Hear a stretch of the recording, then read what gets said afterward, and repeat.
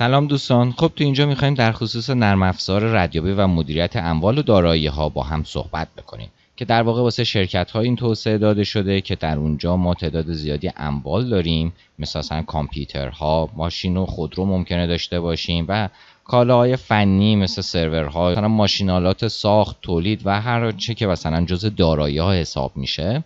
ما این نرم افزار رو برای مدیریت اونا در نظر گرفتیم. البته فقط واسه شرکت ها نیست. اگر دفتری دارین یا حتی یه شخصی هستین که تعداد زیادی دارایی تحت نظرتون هست که باید اونا رو مدیریت بکنید یا انباری رو دارید این خیلی می‌تونه کمکتون کنه و مفید باشه واسهتون که ببینید دارایی دست چه کسانی هستش چه استفاده داره می‌کنه بیمه هاش چیا هستن گارانتیاش چیا هستن تعمیرگاهاش کجا هستن و تعمیرات دوره به چه صورت هستش.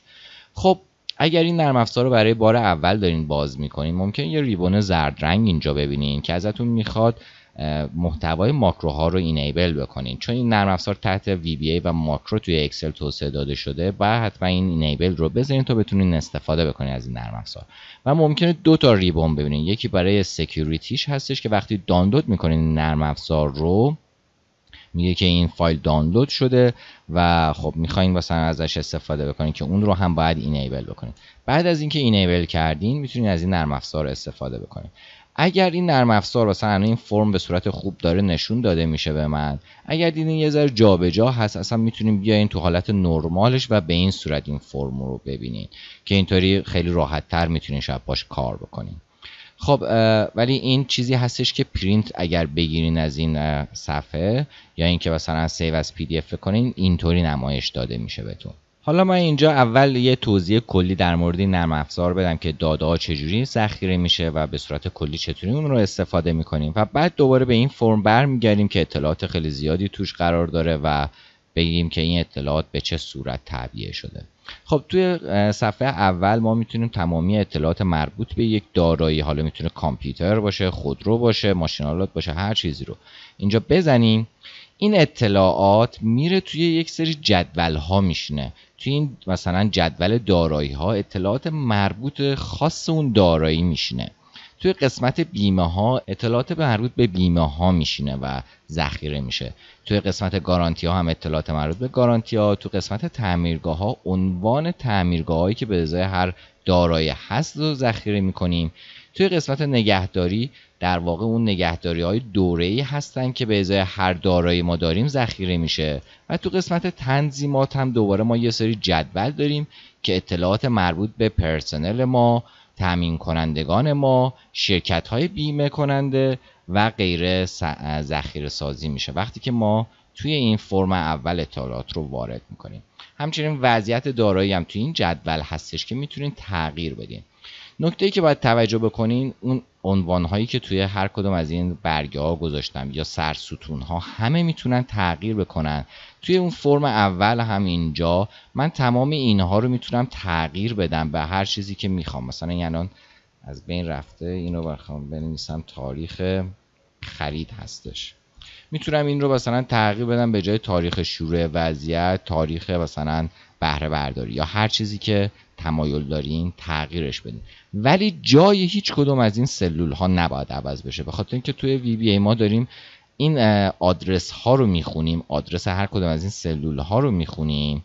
به خاطر همین اگر جاش عوض بشه ممکنه خطا بگیرین. اما اگر شما با وی بی ای آشنا هستین می‌تونین جارم تغییر بدیم بریم تو قسمت کدها و کدهاش رو به روز رسانی بکنین. چون تمامی این اکسل باز هستش و پسوردی نداره. خب بعد از اینکه فهمیدیم این اطلاعات میره توی این جداول میشینه ما یه سری برگه دیگه به نام فرم داریم. این فرم ها هم به ازای مثلا افراد مختلف مثلا من اینجا برای این کد پرسنلی این دارایی ها رو بهش تخصیص دادم. مثلا فکر می‌کنم یه کد تست اینم زدیم مثلا آره. این دارایی بهش تخصیص داده شده. یا اینکه مثلا اگر من خالی بگذارم هیچ چیزی رو نشون نمیده. یا اگر یه کدی رو بزنم که کسی نیستش توش خالی نشون میده. پس من اینجا فقط کافیه که شماره پرسنلی افراد رو که دارم بزنم اطلاعاتش و دارایی که مربوط به اون شخص هست رو به من تو این جدول نشون بده. و اگر بخوام مثلا اطلاعات این شخص رو تغییر بدم مثلا اینجا آقای الف رو بکنم آقای الف دو می‌تونم این رو اینجا بنویسم و بروز رسانی اطلاعات کارمند رو بزنم. وقتی که این بروز رسانی رو بزنم میره تو قسمت تنظیمات. اینجا شده آقای الف دو که حالا ما یه الف دو دیگه داشتیم. من اینجا هم می‌تونم اطلاعات رو تغییر بدم. مشکلی نداره. فقط یه نکته دیگه ای که توی این جداول تو همه این جداول باید در نظر بگیرین این هستش که فیلتر می‌تونین بکنین. اما اگر فیلتر کردین به سرعت از فیلتر خارج بشین. مثلا من اینجا می‌خوام روی گارانتی طلایی فیلتر بکنم ولی اگر این فیلتر رو کردین بعدا این رو باز بکنین. هیچ فیلتر دیگه روی جدولاتون نباشه و وقت کارتون تموم شد به خاطر اینکه وقتی که دارین از این دکمه استفاده می‌کنیم. پیش فرض ما بر این هستش که فیلتر نیستش و ممکنه مثلا که ما داریم با مثلا یه دارایی رو search می‌کنیم ممکنه نتونیم پیداش کنیم پس فیلتر نباشه اما این امکان رو داریم و اینکه مثلا اینجا اگر یه چیزی رو نتونستیم تغییر بدین حالا من اینجا بهتون میگم چجوری می‌تونیم اطلاعات رو update بکنیم. مثلا می‌تونیم برین اصلا داخل خود جدول ها هم اطلاعات رو تغییر بدین اگر نیاز بود. اما با توجه به این دکمه که در نظر گرفتیم کمتر موردی پیش میاد که یه چنین نیازی باشه. ولی اگر لازم بود می‌تونیم برین اونجا هم بررسی بکنین اطلاعات رو تغییر بدیم خب بیایم از این فرم شروع بکنیم. فرم اصلی ما فرم اطلاعات دارایی هستش. بر فرض مثلا من یه دارایی دارم. و می‌خوام اطلاعات اون رو نگهداری بکنم و داشته باشم و ردیابیش بتونم بکنم مدیریت کنم. خب اولین کاری که باید بکنین هستش که من یک کد دارایی بهش تخصیص بدم. خیلی وقتا این کد رو یا از طریق بارکد تخصیص میدم به روی کد روی اون دارایی نصب می‌کنن. یا اینکه مثلا یه برچسب می‌نویسم و و میچسبوننش به دارایی. در هر صورت ما یک کد یک تا لازم داریم برای این دارایی حالا برفرض من اینجا می‌زنم 0 3 2 1 وقتی که این رو بزنیم می‌بینیم هیچ تغییری نمی‌کنه یعنی همه اطلاعات وجود داره. این به خاطر این هستش که من خیلی وقتا خوش شاید مثلا الان کامپیوتر ثابت ده تا کامپیوتر داشته باشم. لازم نباشه که من هر دفعه بیام اطلاعاتی که مشابه هست رو دوباره بخوام بنویسم. و اگر بخوام فرمم رو خالی بکنم و از صفر شروع بکنم می‌تونم این کلیر رو بزنم. تمامی این اطلاعات پاک میشه و می‌تونم دوباره از صفر بزنم. یعنی هر چیزی که مثلا جدید هست رو از اول اطلاعاتش رو وارد بکنم. اولین کاری که گفتیم باید بکنیم باید کد بدیم بهش بعد وضعیتش رو تعیین بکنیم. مثلا الان در حال بهره برداری هستش یا توی انبار هستش یا معدوم شده هستش. اگر وضعیت های متفاوت می‌خوایم داشته باشیم گفتیم باید بیاین توی قسمت تنظیمات اینا رو تغییر بدین. یا می‌تونین اینجا اضافه کنین یا اینکه delete کنین. اگر می‌خواین delete کنین یه چیزی رو باید اینجا سطر رو انتخاب بکنین. کلیک راست بکنین delete table rows رو بزنین. من اینجا چند تا row اضافی در نظر گرفتم واسه وضعیت. اگر توجه بکنین اینجا خالی داریم اما اگر بیشتر از این موارد باز زدین وضعیت رو باید بیاین قسمت data data validation این تعداد مثلا میرین تو تنظیمات این آدرس هست تا سلول E10 قرار داده شده. می‌تونین اینو مثلا تا 20ش بکنین 30ش بکنین اگر تعداد وضعیت های بیشتر از این 10 تا رو در نظر داشتین. خب بعدش اطلاعات رو باید بزنیم. فقط یه نکته رو در نظر بگیریم الان من می‌خوام اطلاعات این رو که مثلا کامپیوتر هست رو بزنم و نمی‌خوام دوباره بیام مثلا خیلی از این اطلاعات رو وارد بکنم چون قبلا کامپیوتر خرید کرده بودم. اگر جدید بود که همه این اطلاعات خالی رو از اول بزنم. اما اگر جدید نبود گفتم می‌تونین. مثلا من اینجا صرف یک دو رو اگر بزنم اینجا رفرش رو بزنم اطلاعات مربوط به کد دارایی 0123 load میشه تو این فرم من و می‌تونم اطلاعاتش رو مشاهده بکنم. حالا من اگه بخوام اطلاعات مربوط به همین دارایی رو تغییر بدم این کد رو عوض نمی کنم مثلا الان از بهره برداری رفته در انبار اقلام عودتی و من اینجا مثلا تاریخ وضعیتش هم تغییر میدم مثلا شده 20 برای این الان این می‌خوام update ش رو بزنم کافی این دکمه تیک رو بزنم و تمامی اطلاعات میره واسه این دارایی update میشه و بروز میشه. حالا من می‌خوام یه دارایی جدید بزنم که مشابه این هستش. 0 3 2 1 رو می‌زنم یه کد جدید تخصیص دادم. این الان اطلاعات همون هست هیچ تغییر نکرده. می‌تونم مثلا اطلاعات مربوطی دارایی جدیدی که گرفتم رو مثلا تاریخ خریدش شده مثلا 20 تاریخ شروع وضعیتش شده مثلا 21 دست ما رسیده. همون کامپیوتر ثابت بوده مشخصاتش رو اینجا می‌زنم و دوباره تیک رو می‌زنم و این اطلاعات برای یک دارایی جدید میشینه الان ناکنی صفر یک دو سه رو من بزنم رفرش بکنم. این اطلاعات مربوط به این دارایی بروز شد و گذاشته شده. و اگر من اینجا صفر سه دو یک رو بزنم و بعد رفرش رو بزنم می‌بینیم که اطلاعاتش میاد اینجا میشینه. یه نکته رو توجه کنیم. وقتی که من اینجا 0 1 2 3 رو زدم و رفرش رو زدم توجه کنین شماره ضمانت نامه اون خالی شده. برای چی؟ به خاطر اینکه شماره ضمانت نامه به ازای هر یه برگ ضمانت نامه که تولید میشه برای هر دارایی یکتا هستش. وقتی که من اینجا تیک رو زدم این ضمانت نامه ای که اینجا وجود داشته update شده واسه این کالای 0321 قبلی و این 0123 پریده. این به خاطر این هستش که چون باید یکتا می‌زنیم و این اشتباه انسانی من هستش که شماره ضمانت نامه غیر یکتا زدم و اینجا همینطور اومدم تیک رو زدم. اما چرا واسه این بیمه هنوز هستش به خاطر اینکه من دو تا بیمه واسه این ثبت کرده بودم. اون قبلی پاک شده و این جدیده هست. پس توجه کنید شماره بیمه و شماره ضمانت نامه باید یکتا باشه. وگرنه اطلاعاتتون ممکنه جابجا جا بشه. کد 321 رو من می‌زنم. refresh رو می‌زنم. اینجا اطلاعات مربوط به کد دارایی من دوباره میاد. می‌تونم edit ها رو بکنم. الان بیایم مثلا واسه 0123 من ادیت رو بزنم و برم جلو و مثلا صحبت بکنم چون این شماره زمانت نامش هم پریده. خب اینجا الان مثلا وضعیتش تغییر کرده وضعیت می‌تونه در حال بهره برداری. تازه خریده باشم رفته ده بهره برداری استفاده داره میشه. عودت شده به انبار مستعلق شده یا معدوم شده یعنی فرستادیمش رفته و از بین رفته دیگه. ولی ما همه اطلاعات رو نگه میداریم. پاک نمیشه چیزی. خب اینجا تاریخ خریدش رو می‌تونم بزنم. تاریخ شروع وضعیت مثلا کی رفته عودت شده کی بهره برداری شده. فقط یه چیزی رو در نظر بگیریم. وقتی که من این تاریخ عودت رو وقتی که من اینجا وضعیت رو تغییر میدم و تاریخ شروع وضعیت رو تغییر میدم اون قبلیه رو دیگه من رکوردش رو ندارم. فقط این تاریخ آخرین وضعیتش رو به من نشون میده و تاریخ مثلا کی بهره برداری شروع شده و کی مثلا رفته به انبار اونا رو دیگه نگهداری نمی کنیم شهر رو یا عنوان که میشه عنوان در واقع این دارایی اسم این دارایی مشخصات این دارایی چیا هستش. و شماره فاکتور اینجا اطلاعات خریدشه. از چه تامین کننده ای خریدیم؟ ببینید من اینجا اگر تامین کننده رو می‌تونم انتخاب بکنم. حالا اینجا فقط یه تامین کننده دارم. می‌تونم انتخاب بکنم. یا اینکه مثلا از اول بنویسم. بنویسم شرکت الف. وقتی که شرکت الف رو می‌زنم اطلاعاتش میپره و وجود نداره. الان در حال حاضر خالی میشه و می‌تونم مثلا از اول همه اطلاعات رو واسه شرکت الف وارد بکنم واسه این. و اگر update رو بزنم شرکت الف به عنوان تامین کننده کسی که من ازش خرید رو انجام دادم هستش. و اینجا اگر نگاه کنن شرکت الف دیگه به لیست من به لیست تامین کنندگان من خودکار اضافه شده.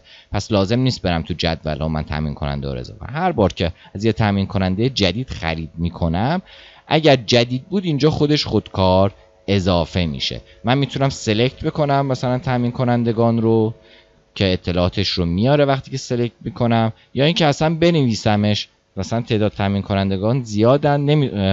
سخت برم بگردم پیدا کنم. می نویسم شرکت الف و به طور مثال و اینجا اطلاعاتش رو واسه من میاره از قبیل شماره تماس ایمیل آدرس و توضیحاتش. خب این میشه اطلاعات خرید که چه تامین کننده خرید. واسه خیلی از دارایی ها ما اونا رو بیمه می‌کنیم. مخصوصا ماشینالات گرون قیمت بیمه آتش سوزی بیمه سوانه و غیره. مثلا واسه خودروها بیمه شخص سالس بیمه بدنه و غیره. هر کدوم از این بیمه هایی که دارم انجام میدم یه شماره بیمه داره. من می‌تونم این شماره بیمه باید یکتا باشه همونطور که گفتم. بزنم و اینجا تا تاریخ مثلا سال دیگه اعتبار داره. اینجا تاریخ اعتبارش رو به عنوان سال ماه و روزش رو بزنم و توضیحاتش رو اینجا بنویسم و plus رو بزنم و بهش اضافه کنم. اگر دفعه اول دارین این رو پر می‌کنیم plus رو نزنیم چون خودش اینجا وقتی تیک رو می‌زنیم یه دونه میره اضافه می‌کنه. اما اگر دو تا سه تا داشته باشین هر بار که اضافه می‌کنین یه دونه plus می‌زنه. و می‌تونم از طریق اینا برم هر کدوم از این بیمه هایی که هستن و دو تا بیمه وجود داره رو نگاه بکنم. و اگر خواستم یک کدوم رو اینجا دلیت بکنم. با زدن این الان این بیمه دلیت میشه اگر اضافی زده باشم. خب وقتی که من اطلاعات بیمه رو می‌زنم تاریخ روز شرح اون بیمه یعنی بیمه چی هستش توضیح میدم در مورد این بیمه و چه شرکتی اون رو بیمه کرده. دقیقا من اینجا دوباره یه لیست دارم از شرکت های بیمه کننده که می‌تونم اونا رو انتخاب بکنم که اطلاعاتش رو اینجا واسه من میاره شماره تماس ایمیل و آدرس اون. و می‌تونم شرکت های جدید رو هم بنویسم اینجا. مثلا شرکت تب و اطلاعاتش رو اینجا بنویسم. و وقتی که اینجا یا پلاس می‌زنم یا اینجا اد رو می‌زنم این شرکت اضافه میشه واسه من. توجه بکنید. یه شرکت که دارم می‌تونم من چندین تا شرکت بیمه نامه مثلا داشته باشم اما می‌تونه تکراری باشه. ولی مثلا یه شرکت می‌تونه چند تا بیمه نامه صادر بکنه. فقط این شماره بیمه باید یک تا باشه. دقیقا همین قضیه واسه گارانتی وجود داره. مثلا الان اینجا من هیچ گارانتی واسه این محصول الان ندارم و می‌خوام یه دونه ثبت بکنم. مثلا شماره زمانت نامش رو باید ثبت بکنم که میشه 0333 به طور مثال. تاریخ اعتبارش رو می‌تونم بزنم تا سال دیگه مثلا 20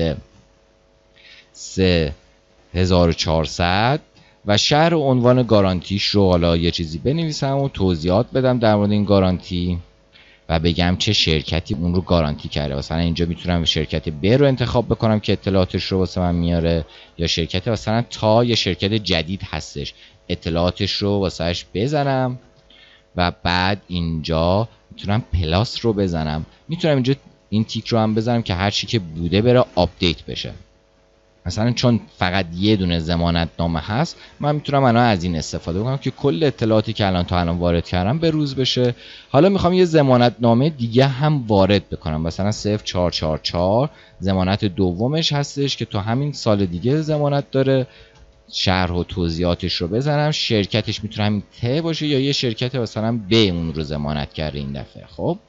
و این دفعه دیگه تیک رو نباید بزنم دیگه باید پلاس رو بزنم که این بره اونجا اضافه بشه. الان من دو تا گارانتی دارم یعنی آخریش هست. می‌تونم یکی بیام عقب گارانتی قبلیش رو هم ببینم یا برم گارانتی های بعدیش رو هم ببینم. هر چند تا گارانتی دارم.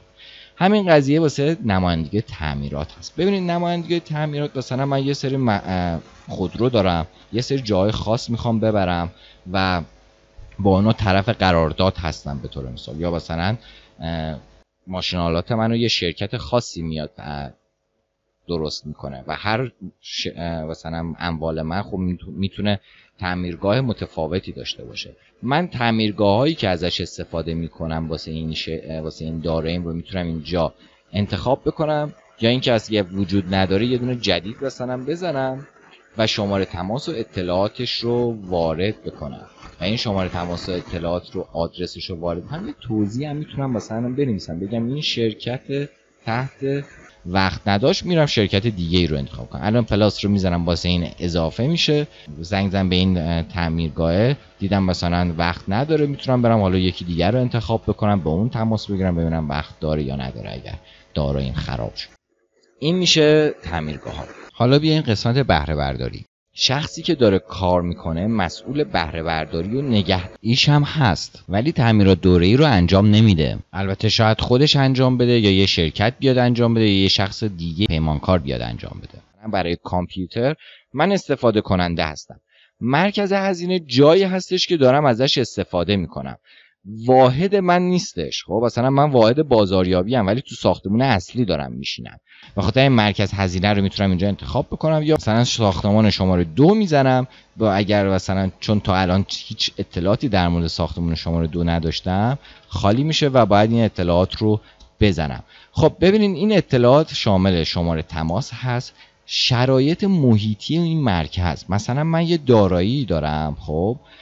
ماشینالاتی دارم بیرون داره کار می‌کنه. باید شرایط اون مرکز رو توضیح بدم که وقتی می‌خوام این دارایی اساین کنم یا بذارم اونجا در نظر داشته باشن تحت چه شرایطی داره انجام میشه. پس این شرایط محیطی مرکز هستش.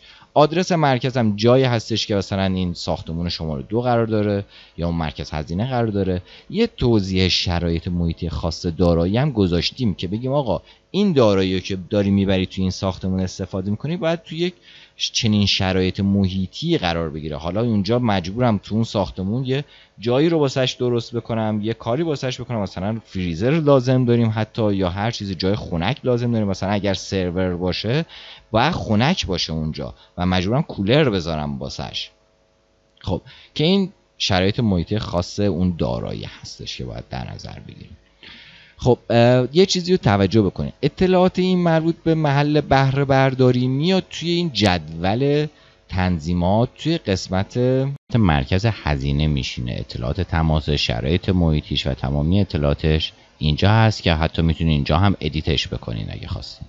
اما اون اطلاعات مربوط به خاص دارایی میاد توی این جدول مربوط به دارایی های اینجا میشینه. تو ستون مربوط به شرایط نگهداری در مرکز هزینه. بعد بعد اطلاعات مربوط به شخصی که داره این کالا رو استفاده می‌کنه رو وارد بکنیم که اول باید شماره پرسنلیش رو بزنیم یا می‌تونیم حالا از کد ملیش هم استفاده بکنیم. بعد نام نام خانوادگی یا واحد اون و توجه بکنین که من می‌تونم شماره پرسنلی جدید بزنم. هر بار که جدید رو بزنم این اطلاعات خالی میشه. من اطلاعات رو می‌تونم دوباره پر بکنم و وقتی که ثبت بکنم اطلاعات جدید ثبت میشه به صورت خودکار این شخص ثبت میشه. اینجا هم که من باید ایمیل و شماره ملیش رو با هم بزنم و می‌تونم اطلاعات تماسش رو یه جا داشته باشم که حالا می‌تونه ایمیل باشه شماره تماسش باشه شماره موبایلش باشه همه رو با هم یه جا می‌تونم بذارم و حالا اگر هایپر لینک شده باشه زیاد اهمیت نداره. تنظیمات من توی قسمت جدول اولم هستش مربوط به کد پرسنلی واسه افرادی که دارن کار می‌کنن توی این شرکت میشینه. خب این میشه شخصی که داره از این کالا استفاده می‌کنه. اینجا هم تاریخ اخذ مسئولیت داریم. یعنی مثلا من این کامپیوتر رو دادم به اون شخص این تاریخ دادم به این شخص. این شخص تو این تاریخ مسئولیت رو قبول کرده که باید این رو بزنم و در نظر بگیرم.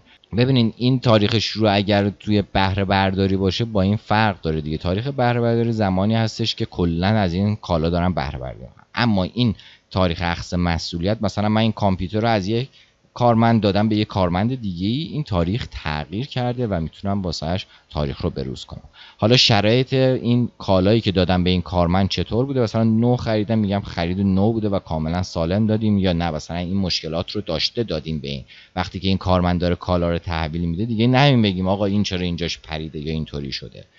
و اینکه توضیحات بدیم مثلا ما گفتیم این مشکلات رو داشته طرف ببره درست بکنه بر فرض مثال. اینو بنویسیم اینجا که داشته باشیم. وقتی که طرف داره میاد این کالا رو دوباره تحویل میده به ما بدونیم چه مواردی بوده و چه چیزایی بوده که دو تا قسمت توضیحات داره.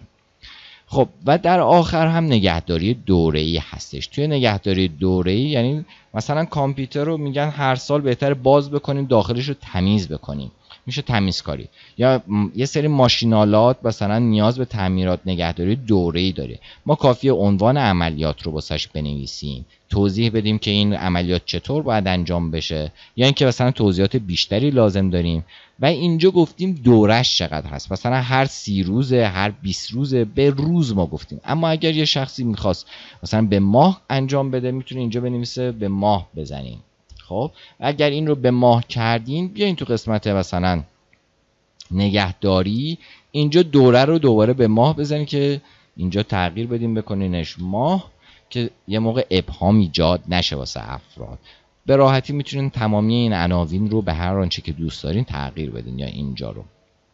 خب این میشه نگهداری این عملیاتی که باید انجام بشه هر 180 روز یه بار. حالا چه شخصی این رو انجام میده؟ می‌تونه همین پرسنلی باشه همین فرد باشه که اون رو انجام بده یا اینکه یه فرد جدید توی شرکت باشه این کار رو انجام بده یا اینکه نه ما با یه شرکت خارج یه شرکت خارج از سازمان قرارداد بستیم با یه پیمانکار که بیاد این کار رو انجام بده. حالا می‌تونین اینجا مثلا کد پرسنلی بهش تخصیص بدین بگیم مثلا این شخص داخلی هستش یا کد ملی اون شخصی که قراره باش قرارداد بستیم بیاد این کار رو انجام بده رو وارد بکنین یا نه. شرکت هستش.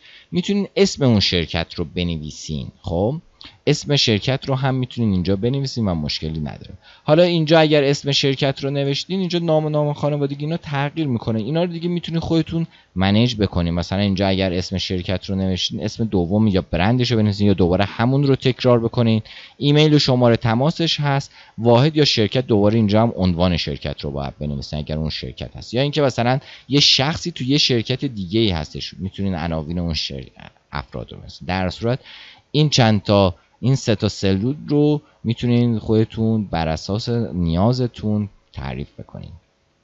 خب این میشه فرم در واقع دارایی ما. دقیقا اینجا من می‌تونم عملیات نگهداری دوره چند تا, چند تا عملیات دوره نگهداری داشته باشم واسه یه داره دیگه. مثلا یکی تمیز کردن باشه یکی روغن کاری باشه چه می‌دونم یکی تعویز قطعات باشه. همه اینا رو می‌تونم به راحتی بزنم و پلاس رو بزنم بهش اضافه بکنم که چندین تا داشته باشیم. و اینجا توی فرم ها هم که با هم دیدیم مثلا من توی فرم اول می‌تونستم شماره پرسنلی بزنم ببینم این شخص که اینجا هست چه دارایی هایی رو تحت بهره برداری خودش داره. مثلا کامپیوتر داره خودرو داره چه می‌دونم لپتاپ داره و چیزهای دیگه.